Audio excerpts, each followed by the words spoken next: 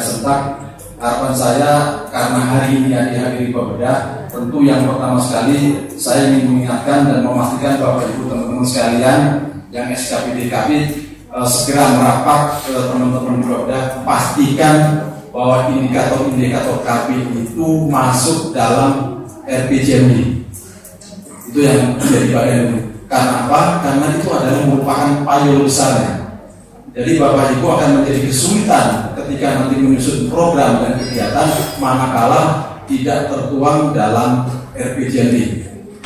Nah, apa indikatornya? Tentu indikator yang bisa dimasukkan dalam uh, RPJMD bisa komunikasi dengan uh, teman-teman di provinsi, dengan bidang galguk di sini pun ada kita atau dengan siapa saja.